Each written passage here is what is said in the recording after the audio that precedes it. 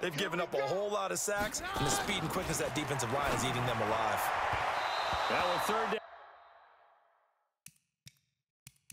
Throw, but it misses the target incomplete.